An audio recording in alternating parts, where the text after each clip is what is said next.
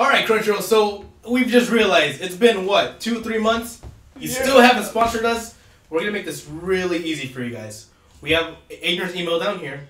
He'll send you his address, and we got his phone number all on the screen or in the description. Whatever, whatever you guys need. Sponsor us already. Do it for Lily. Look at the pug. Listen to her, please. All right, let's get started with the news. All right, let's.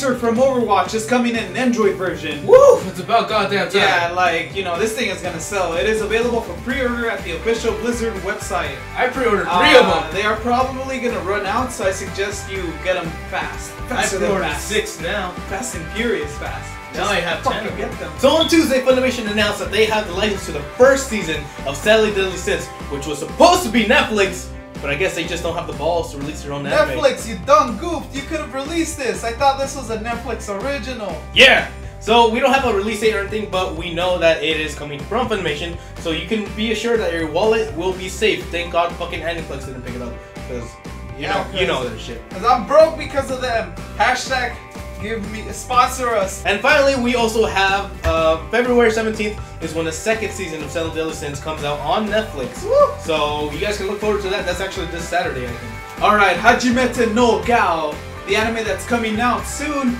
and big boobs and big booty, and she looks like a typical like girl, slutty girl. What are you talking about? Her, her, the anime key visual, her, her, her, the key visual for the anime is out on their official website, Woo! and it looks pretty. Not much. It just reveals her like covering her face, and you just see her body, which is all you need to see. I hope this anime is good because it's popping out everywhere now.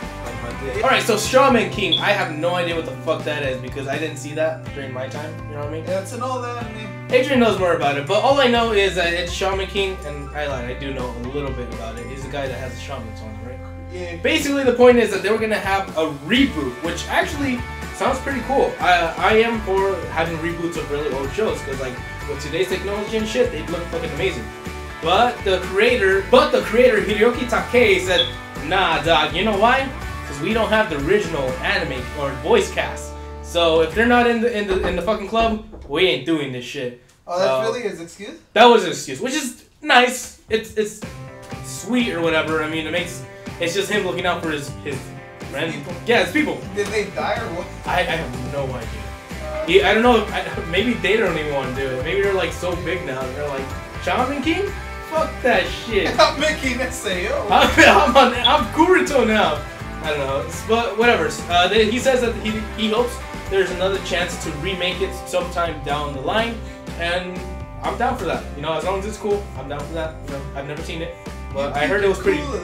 I heard it was pretty dope, so I'm down for second season Shaman King. Alright, Go Sick, the anime that actually came out around 2011 Yeah. and is actually now considered a classic anime. Nah, get the fuck You know, out. that, really? that, that's how long it took for them to release it here to the United States. And it came out of nowhere. Funimation announced that they will release the first half of Gosick. it's about goddamn time. What about the second half? Second half hasn't been announced.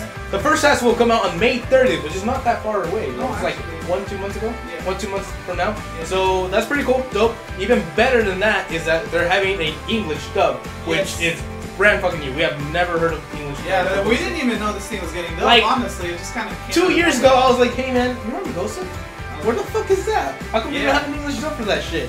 Yeah. Here it is now. According to like sources, Bandai actually Bandai. got the license for it Uh, for the US, but Right. you know they went to shit here and they never released it. So I'm pretty sure Funimation is like, yo, dog, we'll release it. Ever since Gurren Lagann, it hasn't been the same. Nope.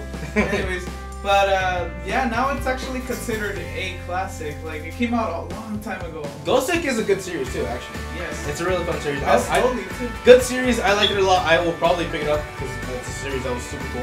Yeah, So- think, think of it like this. Um, Full Metal Alchemist Brotherhood Yep. ended. Uh-huh. Gosick came out. Ooh, Bones. It was Bones. Yeah, it was Bones, and then No Six came out. No six was pretty dope. No Six Go Six, get it? No. Hey.